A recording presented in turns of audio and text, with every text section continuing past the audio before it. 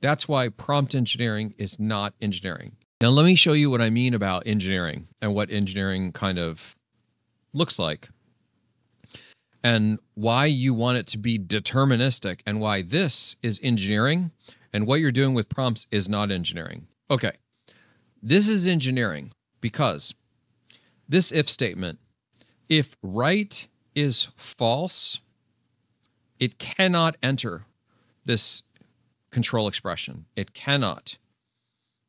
It cannot ever go this way. It must obey this.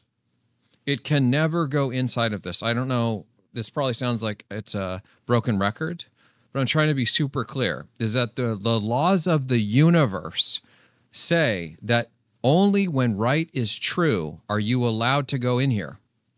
That means that when right is not true, it will go in here.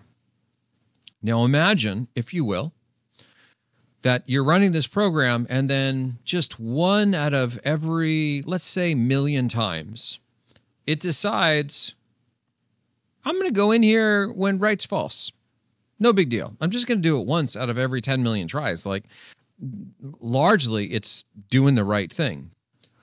What could happen in that one case? What does that result in with the user, the user experience? What about the developers? How do developers debug this? How do they make this stop happening? So you get the user report uh, that there's this bug and it went in here and you're looking at this code saying, well, the code looks right.